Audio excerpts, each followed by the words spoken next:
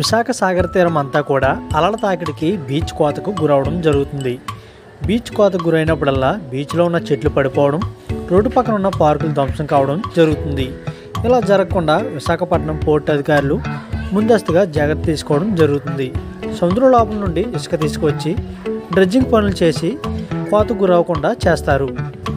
దీనిలో భాగంగానే డ్రెడ్జింగ్ పనులు ప్రారంభించి కోత గురవకుండా అధికారులు చర్యలు తీసుకుంటున్నారు.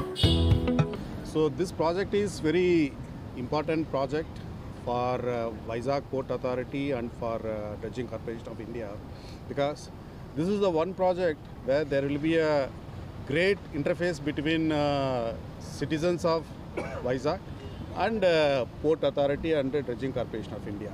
As told by you know my CHOD, this is a kind of a project we spend close to you know like average 20 crore per year okay close to 20 crore per year and uh, we are targeting you know like uh, to the tune of almost you know like uh, 2 lakh 2 lakh cubic meter of uh, you know excavation of sand and uh, जो sand हम लोग excavation क- करेगा ये पूरा excavated sand will be refilled and it will be nourished so that see you guys you know happen to see there is always a erosion Uh, beach is going like this okay?